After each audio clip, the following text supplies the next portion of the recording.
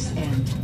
To unfasten, lift top of buckle and pull free end to release. In case of water landing, your life vest is found under your seat. Remove sharp objects from your body. To don, slip vest over the head. Take tape around the waist and push end to buckle. Pull tape to tighten. When outside the aircraft, pull inflation tags to inflate vest.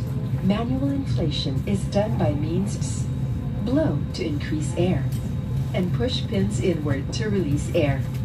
Light automatically illuminates once the battery is immersed in water.